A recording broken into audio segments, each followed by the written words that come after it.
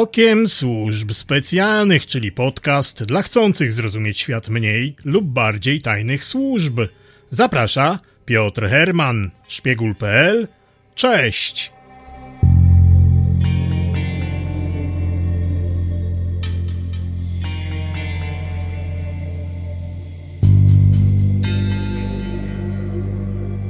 Przedwojna światowa. Dziś audycja typu standard, w której opowiem o służbach specjalnych końca XIX i początku XX wieku, w szczególności zaś okresu wojny rosyjsko-japońskiej 1904-1905 roku, zwanej wojną mandżurską. Ja nazywam ją i to całkiem zasłużenie, totalnie niedocenioną wojną przed pierwszą światową. Niedocenioną nie tylko przez zwykłych ludzi, ale i przez wielu historyków a jej przebieg i skutki miały bezpośredni wpływ na wydarzenia późniejsze w Europie. Nie będę jednak zanudzał przebiegiem konfliktu, gdyż to nie jest tematyka naszych rozważań. Zajmę się jedynie nieznanymi szerszemu kręgowi odbiorców kwestiami związanymi z działalnością wywiadów i kontrwywiadów rosyjskiego, zarówno wojskowego, jak i carskiej tajnej policji politycznej oraz japońskiego. Jak zwykle nie da się uniknąć porównań do czasów współczesnych, szczególnie że geopolityka i strategia stały się dziś bardzo popularne w związku ze wzrostem znaczenia Chin i malejącym wpływem Stanów Zjednoczonych. Może to, o czym opowiem, czegoś kogoś jednak nauczy. Tego to ja nie wiem. Opowiadam jednak o tym wszystkim, gdyż doskonale rozumiem specyfikę pracy służb tajnych. Byłem bowiem oficerem polskich służb specjalnych, a obecnie przekazuję praktyczną wiedzę i umiejętności niezbędne dla researcherów, czyli wywiadowców, analityków i to nie tylko wywiadowczych, bezpieczników, czyli różnorakich specjalistów bezpieczeństwa oraz strategów biznesowych, co oznacza również menedżerów i kierowników różnego autoramentu i top managementu. A niektóre z tych umiejętności są bardzo przydatne dla detektywów wszelakich czy też dziennikarzy śledczych oraz wcieleniowych. Chodzi o tak zwane dziennikarstwo pod przykryciem. I nie tylko. Dlatego właśnie szkolę każdą osobę zainteresowaną tą tematyką. A już całkiem niedługo rusza specjalistyczny portal szkoleniowy z tego typu szkoleniami w formie online. Najpierw jednak pojawi się tak zwana landing page, czyli strona internetowa, za pośrednictwem której można będzie dowiedzieć się znacznie więcej o tych kursach online. A to oznacza, że dobrze wiem, o czym mówię. I również z tego powodu bardzo chciałbym Cię zaprosić na szpiegul.pl Intelligence Blog, gdyż jest to centralne miejsce całej mojej aktywności dla Ciebie. Jeśli zaś nie chcesz niczego przegapić, to całkiem niezłym pomysłem jest zasubskrybowanie newslettera. A przy okazji otrzymasz darmowego e-booka mojego autorstwa, w którym przeczytasz o podręczniku metod pracy wywiadu Armii Czerwonej w latach dwudziestych XX wieku. I to byłoby na tyle, jeśli chodzi o sprawy bieżące. Zaczynamy!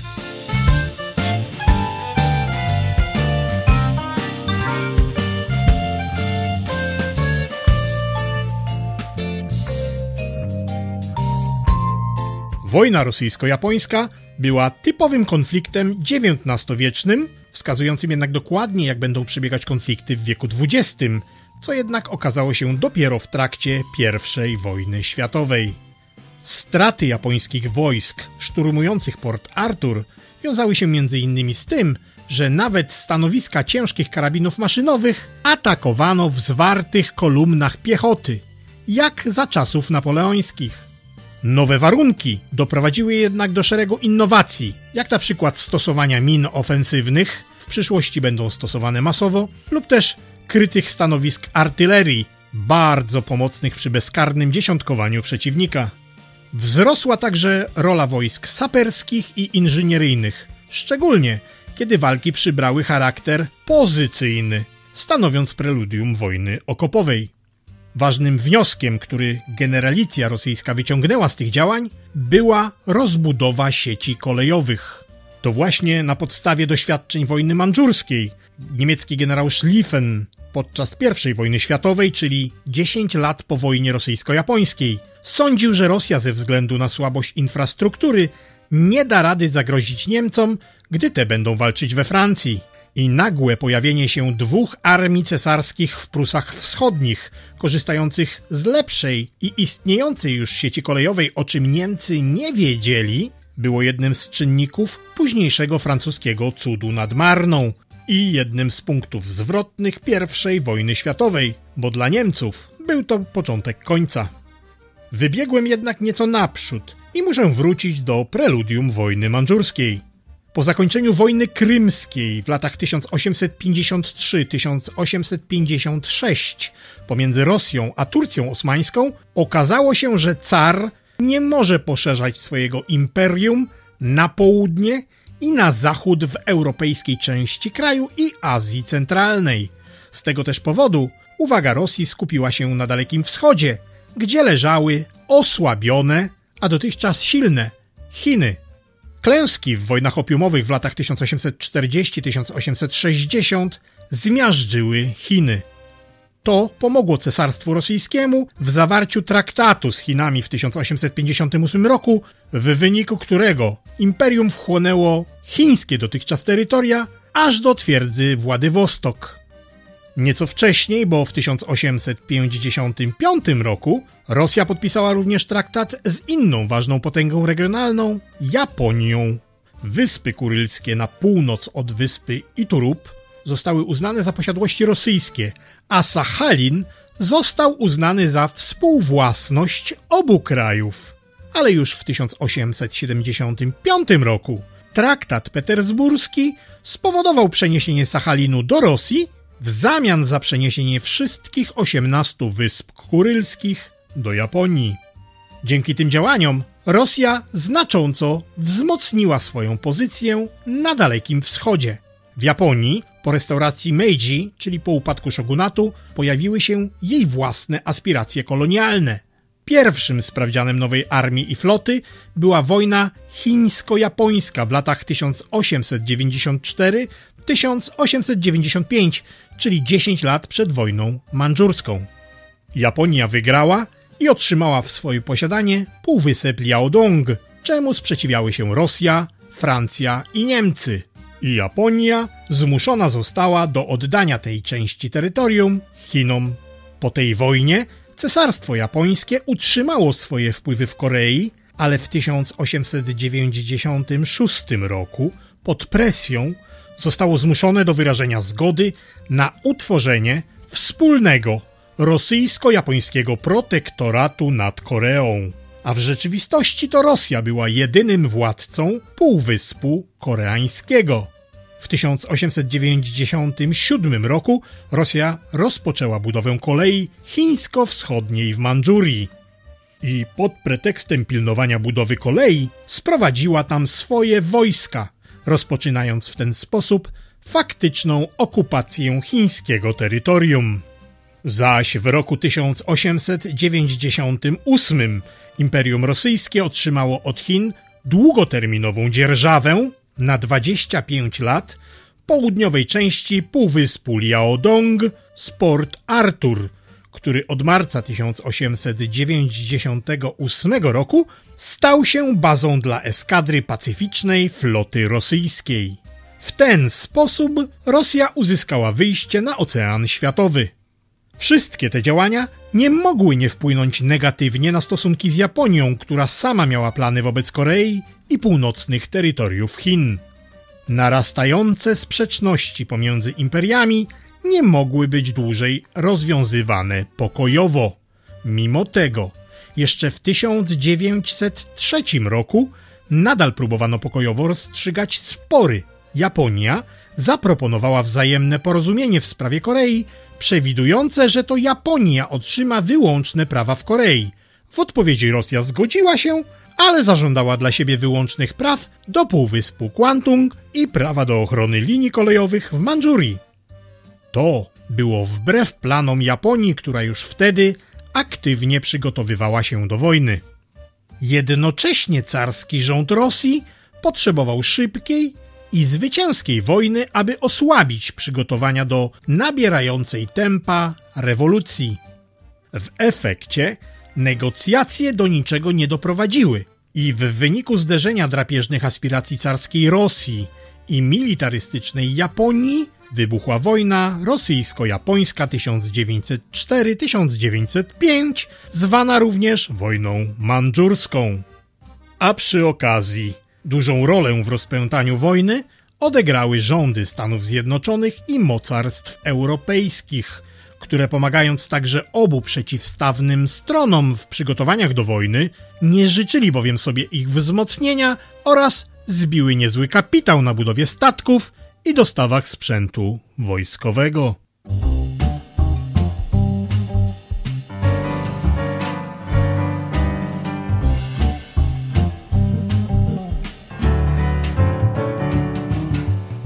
Oba imperia nie doceniły sił i możliwości przeciwnika. Rosjanie byli przekonani, że zwycięstwo nad siłami zbrojnymi, i to zarówno lądowymi, jak i flotą, dzikich Azjatów, jak przedstawiano Japończyków w ówczesnej prasie, stanowi jedynie kwestię czasu. Zaś Japończycy nawet nie zadali sobie trudu, aby przygotować wystarczającą liczbę amunicji i zaopatrzenia. Byli bowiem przekonani, iż zwycięstwo nad Rosją będzie tak samo łatwe i szybkie jak w wojnie chińsko-japońskiej 10 lat wcześniej. Choć patrząc realnie, to Japonia najeżdżając Koreę i Chiny nie była w stanie w pełni ocenić realnego potencjału swojej polityki zagranicznej oraz ograniczeń własnych możliwości gospodarczych. A zwycięstwo w wojnie chińsko-japońskiej rozbudziło ambicje ówczesnej elity japońskiej, lecz w rezultacie doprowadziło Japonię do druzgocącej klęski w II wojnie światowej. I tu kolejna ciekawostka. Porażka w 1945 roku zadana została Japończykom przez Amerykanów, którzy zawsze w pełni wspierali Tokio w konfrontacji z Imperium Rosyjskim. Zwróć również uwagę na to, iż główną cechą japońskiej polityki zagranicznej w krwawych latach 50., czyli 1895-1945, była chęć całkowitego podporządkowania sobie Chin i Korei. Japońscy dowódcy wojskowi, zainspirowani historycznymi przykładami dynastii mongolskiej Yuan i dynastii mandżurskiej Qing, marzyli o założeniu nowej, ale już japońskiej dynastii cesarskiej na terytorium podbitych Chin i Korei. Wzmocnione państwo japońskie miało zmienić się zgodnie z tym ogólnym schematem w jedno z dominium wielkiej chińskiej cywilizacji, czyli japońscy generałowie nie byli zainteresowani przedłużeniem potęgi japońskiego cesarza na Chiny, lecz wręcz odwrotnie. Dążyli do zawłaszczenia pięciotysięcznego statusu cywilizacyjnego wielkiego chińskiego mocarstwa w taki sposób, który dałby najbardziej wpływowemu z tych generałów możliwość ustanowienia nowej dynastii w Pekinie i tym samym legalnego zamknięcia granic chińskiego imperium dla zachodnich konkurentów.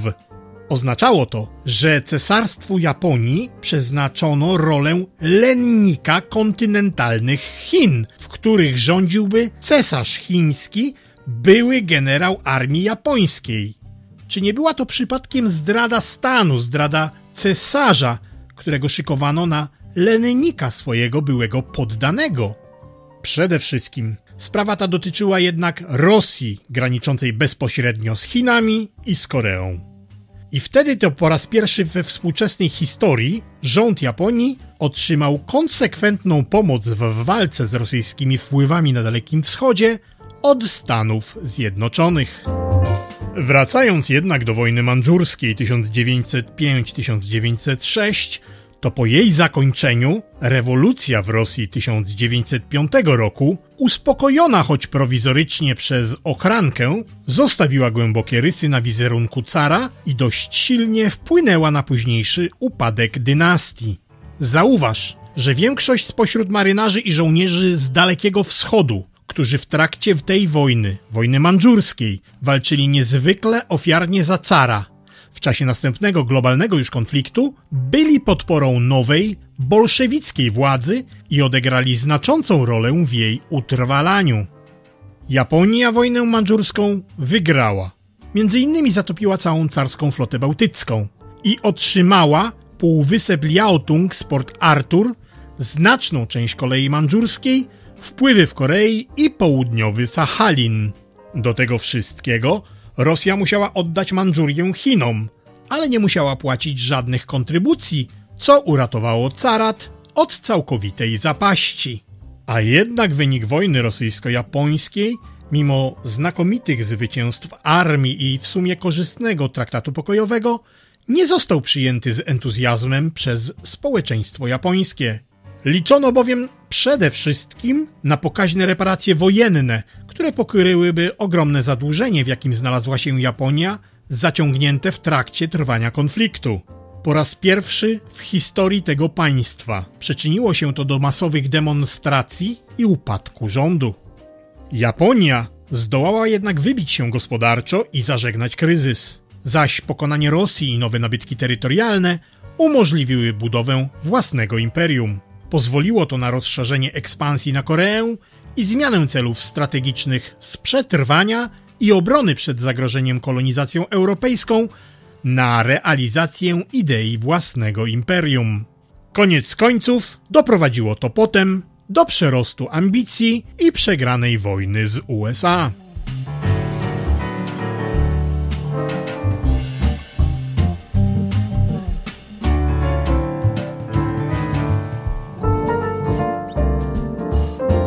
Jak zapewne pamiętasz, to na początku XX wieku w Imperium Rosyjskim pracownicy kilku resortów jednocześnie zajmowali się prowadzeniem wywiadu wojskowego, wojskowo-politycznego i finansowo-gospodarczego.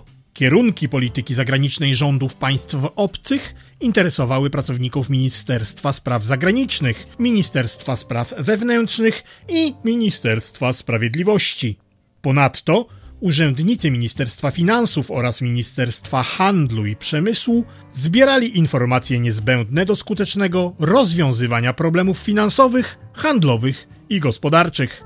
Nawet przedstawiciele Świętego Synodu, czyli organu kierowniczego rosyjskiego kościoła prawosławnego, byli zaangażowani w pozyskiwanie informacji o sąsiednich państwach. Lecz absolutnie nikt nie był angażowany w koordynację oraz systematyzację i analizę uzyskanych informacji wywiadowczych, a także w przygotowywanie na ich podstawie uogólniających raportów dla najwyższego kierownictwa kraju. W armii rosyjskiej w przededniu i podczas wojny mandżurskiej panował powszechny pogardliwy stosunek do prowadzenia wywiadu z pomocą tajnych agentów, co uznano za sprawę niemal haniebną i związaną z prerogatywą administracji żandarmerii, która cieszyła się bardzo złą opinią wśród oficerów wojskowych. Ponadto w owym czasie panowała powszechna opinia oparta na podręczniku polowym, że główne zadanie rozpoznania wroga, ukształtowania terenu i uzyskania informacji od okolicznych mieszkańców należą do zadań kawalerii. W latach 1900-1904 informacje wywiadowcze o Japonii i jej siłach zbrojnych pozyskiwali jedynie oficjalni przedstawiciele Sztabu Generalnego Armii Rosyjskiej pracujący w Japonii, Korei, Mandżurii i Chinach. Najlepszych oficerów armii rosyjskiej, wyróżniających się na stanowiskach dowódczych, posługujących się językami obcymi, najczęściej europejskimi, wysyłano bowiem do stolic obcych państw jako agentów wojskowych. Jednocześnie w dniu wybuchu wojny w 1904 roku w armii rosyjskiej w Port Arthur nie było ani jednego żołnierza, który mówiłby po japońsku. Mówiąc wprost, rosyjski wywiad i kontrwywiad wojskowy w przededniu, a i podczas wojny z Japonią stanęły przed problemem niekompletności swojej organizacji, konkretnie struktury organizacyjnej, niedorozwojem sieci agenturalnej oraz aparatury informacyjno-analitycznej, w tym braku wykwalifikowanych tłumaczy języka japońskiego. Nie można więc dziwić się, iż uwadze kierownictwa wywiadu rosyjskiego całkowicie umknął fakt, iż w okresie od 1898 do 1903 roku Japończycy stworzyli jednolitą i wysokiej jakości flotę pancerną, uzbroili armię oraz zorganizowali i wyszkolili znaczne rezerwy. Japończycy aktywnie uczyli się rosyjskiego i każdy oficer japoński musiał znać przynajmniej jeden język obcy. W przededniu wojny japońskie kierownictwo wojskowo-polityczne zorganizowało intensywne prace nad wsparciem wywiadowczym i kontrwywiadowczym dla zbliżającego się teatru działań wojennych. Już 10 lat wcześniej, po wojnie japońsko-chińskiej, Japończycy wysłali do Rosji wielu swoich szpiegów. Japoński wywiad aktywnie zbierał informacje o rosyjskich wojskach i kolejach na Syberii, Primorie i Mandżurii. W tym kierunku aktywnie działali agenci wojskowi. W Petersburgu pułkownik Akashi Motohiro, a w Pekinie pułkownik Aoki. Japońscy oficerowie podjęli się każdego zadania w celu stworzenia wiarygodnej legendy dla realizacji działań wywiadowczych w Rosji. Przystąpili do ciężkiej pracy przy budowie rosyjskich fortyfikacji, gdzie zebrali szczegółowe informacje o budowanych obiektach. Poważną uwagę zwrócono na zbieranie informacji o ruchu wojsk rosyjskich. Aby zebrać takie dane, japońscy agenci zostali wysłani na wszystkie główne stacje kolei syberyjskiej. Na przykład przedstawiciel handlowy Japonii we Władywostoku w latach 1901-1904 zorganizował i zarządzał siecią agentów złożoną z około 30 Japończyków mieszkających we Władywostoku, Nikolsk-Usuryjsku, Nowokijowsku, Chabarowsku, Nikołajewsku, Błagowieszczeńsku i Harbinie. Ponadto szkolenie wykwalifikowanych oficerów wywiadu, zdolnych do kierowania pracą szeregowych szpiegów, zostało przeprowadzone w Japonii przez jednostki specjalne podlegające bezpośredniej jurysdykcji sztabu generalnego. Ponieważ jednak pojawienie się Japończyka w Rosji od razu wzbudzało wzmożone zainteresowanie, japońskie władze wojskowe stawiały na przemianę Japończyków zajmujących się szpiegostwem w Chińczyków. Ci bowiem, ze względu na dobre stosunki między Rosją a Chinami, nie budzili podejrzeń. Po długim okresie asymilacji zewnętrznych chińskich zwyczajów, przyszli szpiedzy niewiele różnili się od Chińczyków. Można więc powiedzieć, że przed wojną z Rosją Japończycy stworzyli sieć stacji w Mandżurii i wyszkolili kadry doświadczonych oficerów wywiadu. Generał Fukushima, zastępca szefa sztabu naczelnego dowódcy japońskich sił lądowych, marszałka Oyamy, sporządził szczegółowy plan wojenny oparty w całości na raportach szpiegów, którymi wcześniej zalał Mandżurię. Według dalekich od pełnych danych opracowanych na podstawie materiałów pochodzących z organów carskiej żandarmerii, liczba japońskich szpiegów działających na terenie Imperium Rosyjskiego sięgnęła 500 do początku wojny rosyjsko-japońskiej. Według naocznych świadków, wojsko japońskie było dobrze zaopatrzone w szczegółowe mapy Mandżurii, ale oprócz znajomości terenu i dobrych map, powodem zaufania i jak zauważyli eksperci szalonej zuchwałości Japończyków w wojnie mandżurskiej, była niewątpliwie głęboka znajomość armii rosyjskiej. Wraz z wybuchem wojny mandżurskiej większość japońskich agentów opuściła kontrolowane przez Rosję terytoria i od tego momentu pośpiesznie szkoleni Chińczycy, Mongołowie i Koreańczycy stali się główną siłą uderzeniową japońskiego szpiegostwa. Szczególnie cenni dla japońskiego wywiadu byli ci Chińczycy i Koreańczycy, którzy pracowali dla Rosjan jako tłumacze i skrybowie. Osoby te były najbardziej zręcznymi szpiegami, gdyż Rosjanie znali ich, pozostawali z nimi w stałym kontakcie i nie mieli podejrzeń co do nich. Każdy taki agent był odpowiedzialny za trzech do pięciu szpiegów, którzy tworzyli specjalną grupę. Ponadto Japończycy ze swoimi agentami dosłownie zalali tyły armii rosyjskiej, gdzie wysyłano szpiegów w grupach po 3-4 osoby. Na czele takiej grupy stał najczęściej najbardziej doświadczony agent, który dobrze znał język rosyjski. Członkowie grupy, infiltrując personel restauracji, kierowców wózków, a także szpitale, z powodzeniem zbierali interesujące Tokio informacje. Jednocześnie nie prowadzono żadnych zapisów. Wszystkie informacje były po prostu zapamiętywane. W toku działań wojennych Japończycy szybko się zorientowali i skorzystali z najtańszego, najbezpieczniejszego i najbardziej wiarygodnego źródła informacji rosyjskiej prasy. Sprzyjał temu brak cenzury wojskowej. Z gazet rosyjskich i zagranicznych japoński wywiad mógł otrzymywać informacje o stanie armii rosyjskiej, mobilizacji jednostek do wysłania na Daleki Wschód i inne informacje. Sami zaś Japończycy starali się jak najbardziej utrudnić pracę korespondentów wojennych, którym pozwolono na śledzenie ich armii z oddali. Ponadto Japończycy stosowali wyjątkowo surową cenzurę, a wobec osób skazanych za przekazywanie za granicę informacji o ruchach swoich wojsk, składzie armii i tym podobnych, stosowano surowe kary. Nawet obywatel brytyjski, niejaki Collins, który mieszkał w Japonii, został skazany na dwa lata więzienia pod zarzutem ujawnienia tajemnic wojskowych. Równie rozległa była organizacja japońskich akcji sabotażowych.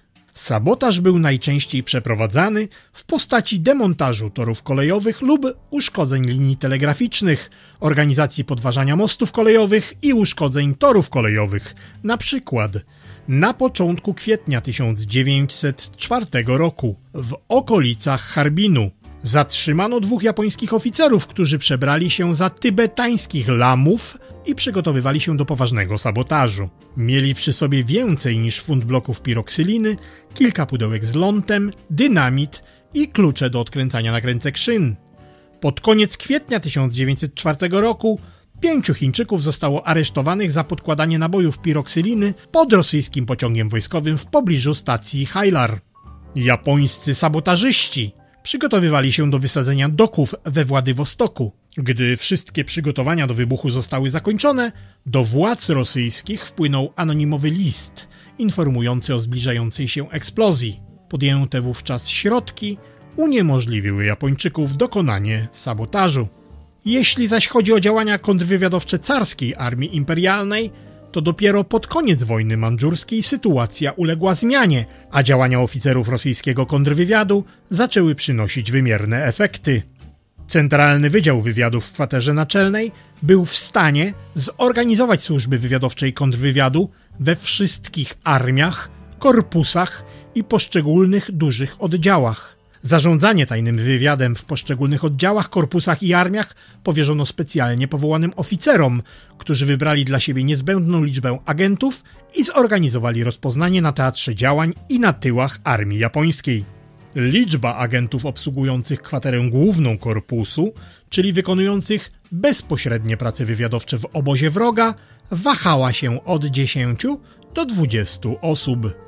A dzięki tym, choć spóźnionym działaniom, rosyjskiemu dowództwu w czasie wojny, zwłaszcza w 1905 roku, udało się złapać wielu japońskich szpiegów działających zarówno na polu działań, jak i na tyłach a tym samym udaremnić wiele planów szpiegowskich i sabotażowych japońskiego dowództwa głównego. W działania wywiadowcze i kontrwywiadowcze przeciwko Japonii w okresie wojny mandżurskiej zaangażowano również carską ochrankę.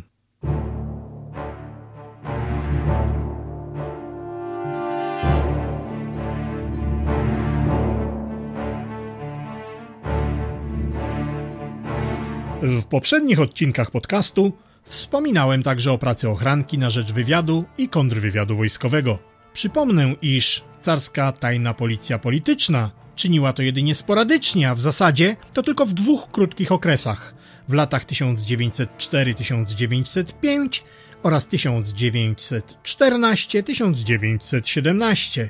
Pierwszy raz w trakcie wojny rosyjsko-japońskiej, a drugi podczas I wojny światowej. Poza tymi okresami ochranka zajmowała się wyłącznie poszukiwaniami politycznymi w kraju i poza jego granicami. Nas jednak interesuje dziś okres wojny rosyjsko-japońskiej. Iwan Fiedorowicz Manasewicz Manujlow. Pamiętasz może tą interesującą postać związaną z ochranką i jej działaniami poza granicami Rosji? Przewijał się on w kilku odcinkach podcastu, m.in. w OSS 008 Tajemnice Sherlocka. Jeśli nie pamiętasz, to przesłuchaj może tę audycję. Otóż w lipcu 1904 roku dyrektor depo Łopuchin wydał Manasewicz Manuilowi rozkaz zorganizowania i kierowania grupą czy też działem do spraw międzynarodowych poszukiwań szpiegowskich w ramach Wydziału Specjalnego Departamentu Policji, czyli w ramach ochranki. Zadania tej grupy obejmowały zarówno monitorowanie zagranicznych szpiegów, jak i zdobywanie, a także łamanie obcych szyfrów. Grupa Manasewicz-Manuilowa nie miała określonego stanu osobowego ani też żadnych instrukcji działania. Stałą obsadę tworzyli Manasewicz-Manuilow, kapitan żandarm Komisarow, kryptoanalityk Kriwosz, oddział filerów oraz tajni współpracownicy rekrutowani głównie wśród personelu obsługi zagranicznych ambasad w Sankt Petersburgu. Zgodnie ze swoją nazwą, grupa zajmowała się nie tylko Japończykami, lecz w ogóle obcokrajowcami, których zachowanie i koneksje wzbudzały podejrzenia. W lipcu-sierpniu 1904 roku oddział ustanowił nadzór i perlustrację nad korespondencją szwedzko-norweskiego atasze marynarki wojennej Kraaka, włoskiego agenta wojskowego hrabiego Ruggeri oraz szeregu Amerykanów i Brytyjczyków. Na wyniki nie trzeba było długo czekać. Obserwacja Kraaka ujawniła jego częste spotkania z Amerykaninem Bergiem, który na polecenie rosyjskiego Ministerstwa Marynarki Wojennej kierował budową łodzi podwodnej w Stoczni Bałtyckiej. Z kolei perlustracja raportów szwedzkiego agenta morskiego wykazała, że znał pewne tajne informacje, których źródłem jest Berg. W rezultacie rząd odmówił Amerykaninowi, któremu nie pomogła również jego szczególnie ufna relacja z Wielkim Księciem Aleksandrem Michajłowiczem, odpowiedzialnym za uzbrojenie statków pomocniczych floty, który na polecenie rosyjskiego Ministerstwa Morskiego kierował budową okrętu podwodnego w Stoczni Bałtyckiej. Oddział Manusewicza Manuilowa szybko poszerzył zakres swojej działalności i w drugiej połowie sierpnia 1904 roku przekazał do DEPO, czyli do Departamentu Policji, kody szyfru ambasady USA uzyskane przez tajnych agentów, to jest współpracowników. Później uzyskano szyfry szwedzkie, bułgarskie, rumuńskie oraz część japońskiego szyfru dyplomatycznego, zaś w październiku 1904 roku otrzymano jeszcze cztery kody chińskie oraz kserokopię księgi raportów ambasady. Zresztą kontrolowano całą korespondencję misji chińskiej. A trzeba mieć na uwadze i to, że wszystkie depesze chińskiego Ministerstwa Spraw Zagranicznych do jego przedstawicieli w Europie przechodziły właśnie przez Petersburg. Podczas wojny rosyjsko-japońskiej Manasewicz Manuilow był zaangażowany w pracę wywiadowczą i kontrwywiadowczą poza granicami carskiego imperium. Zwerbował do pracy tajnych agentów, współpracowników w dyplomatycznych misjach japońskich w Hadze, Londynie i Paryżu. W rezultacie tylko do końca lipca uzyskano ponad 200 japońskich dokumentów oraz część japońskiego szyfru kody dyplomatycznego, Podobne werbunki tajnych agentów miały miejsce w misji amerykańskiej w Brukseli oraz włoskiej w Paryżu. W sumie oddział uzyskał 12 różnych kodów szyfrów dyplomatycznych. Ponadto Manusewicz Manuilow utrzymywał bliskie kontakty z francuską tajną policją Sûreté, która dostarczyła mu kopie telegramów od japońskich dyplomatów. Zasługi Manusewicz Manuilowa zostały docenione przez władze carskie i nagrodzone w 1904 roku przez samego cara orderem świętego Włodzimierza czwartego stopnia. Nie było to jedyne jego odznaczenie. Wcześniej, w 1897 roku, szach perski nadał mu order lwa i słońca czwartego stopnia, a później w 1905 roku uzyskał hiszpański order Izabeli Katolickiej. A mimo to nowe kierownictwo Departamentu Policji nie zgodziło się z jego propozycjami ustanowienia nadzoru w najważniejszych zachodnioeuropejskich miastach portowych i nakazało w lipcu 1905 roku zaprzestanie wszelkich działań poza granicami Rosji i powrót do kraju. A po tym jak Piotr Raczkowski został wiceszefem depo, Kariera Manusewicza Manuilowa podupadła, a nawet w 1910 roku na rozkaz wiceministra spraw wewnętrznych i dowódcy oddzielnego korpusu żandarmów generała Kurłowa w mieszkaniu Manusewicz Manuilowa przeprowadzono przeszukanie w związku z otrzymanymi informacjami o jego kontaktach z Burcewem, któremu rzekomo miał sprzedać tajne dokumenty Departamentu Policji. Przeszukanie jednak zakończyło się niepowodzeniem i nie miało żadnych dalszych konsekwencji. Jedyne co go ratowało, to fakt, iż został jedną z osób bliskich Rasputinowi. Z tego też powodu w 1915 roku został osobistym informatorem wiceministra spraw wewnętrznych Bieleckiego, a nieco później został skierowany do Ministerstwa Spraw Wewnętrznych. Planowano nawet mianować go na szefa agentury zagranicznej ochranki, ale zamiast do Paryża, to jesienią 1916 roku trafił do więzienia z zarzutem szantażowania dyrektora pierwszego moskiewskiego Zjednoczonego Banku. Cóż, faktycznie ten dyrektor, hrabia Tatiszczew, w porozumieniu z ministrem spraw wewnętrznych Chwostowem, dał łapówkę Manasewicz Manuilowi w postaci oznaczonych banknotów. Sprawę sądową wyznaczono na 16 grudnia lecz dwa dni wcześniej prokurator generalny Makarow otrzymał od cara rozkaz umorzenia sprawy.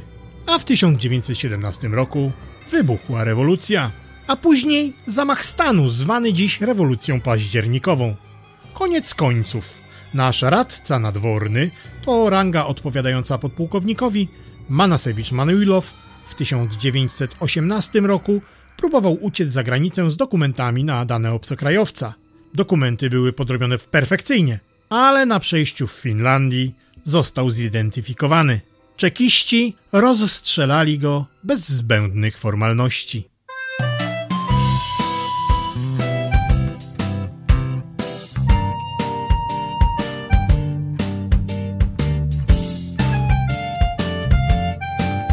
I na dziś byłoby to na tyle. Chciałbym Ci jeszcze przypomnieć o tym, iż wraz z Tomkiem Safiańskim i Pawłem Łabuzem wydaliśmy książkę Ochrona przedsiębiorstwa przed szpiegostwem gospodarczym, prawne i praktyczne aspekty zapewnienia bezpieczeństwa aktywów przedsiębiorcy, która cały czas jest dostępna w sprzedaży. Jeśli zaś chodzi o służby specjalne Rosji i Japonii, w okresie wojny mandżurskiej 1904-1905, to należy stwierdzić, że znacznie posunęły one naprzód rozwój metod i środków pracy wywiadowczej oraz kontrwywiadowczej obu imperiów Rosji i Japonii. Zupełnie inną sprawą jest jednak to, w jaki sposób spożytkowano te doświadczenia w okresie późniejszym. Bowiem praca służb i ich agentur nie zmienia się z upływem lat. Jeśli słuchasz tego podcastu, to już o tym wiesz. Jeśli masz jeszcze jakiekolwiek wątpliwości, to zapraszam Cię na dalsze audycje. Jeśli ich nie masz, to zapraszam Cię tym bardziej. A ten odcinek zakończę i jak zawsze mam ogromną prośbę do Ciebie. Poleć ten podcast OSS Okiem Służb Specjalnych choć jednej osobie spośród Twoich znajomych.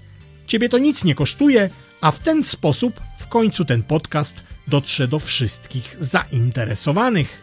Jeśli zaś nie chcesz przegapić nic z tego, o czym opowiadam, na temat służb mniej i bardziej tajnych, to zasubskrybuj newsletter na stronie szpiegul.pl. Kolejna audycja Okiem Służb Specjalnych już za tydzień. Do usłyszenia. Szpiegul.pl Okiem Służb Specjalnych. Cześć!